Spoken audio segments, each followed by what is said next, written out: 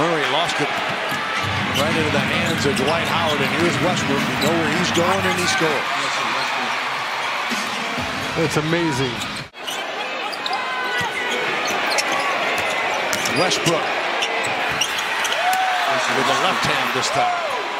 He's getting into the lane at will. Reaves swings it to Westbrook. He again goes to the rim over Poeltl. Jakob got a piece, but it comes in the hands of Davis, who quickly pops it back in. Three-point shooting so far this season.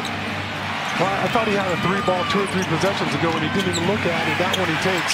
So again, Bill, it's I've said it several times. It's about recognition. And they're not aware of the spacing. And sometimes they're running into each other and they're too close to each other to really create a good looking shot. Westbrook backing him down.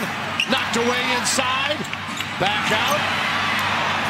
Plenty of time. 10 on the shot clock. Westbrook hits the three. That one you live with.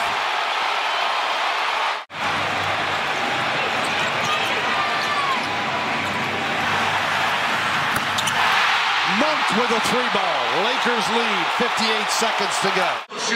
Our guy's just kind of hanging back there, not a soul around him. Yeah, nobody fought to get around the screen. Right. That's just fatigue.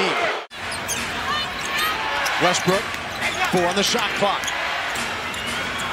Wow, what a terrific move by Westbrook.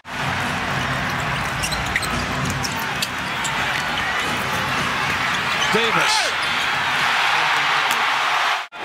Keita Bates-Diop. Anthony Davis just slipping in there. Westbrook. Looking for 31. And does it with a dunk.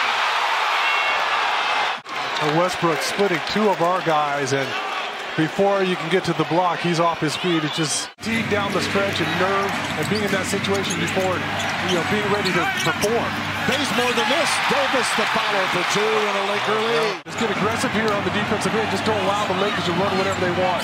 Lakers with Westbrook trying to add to the lead, and he does. Four-point Laker lead, 125, 121.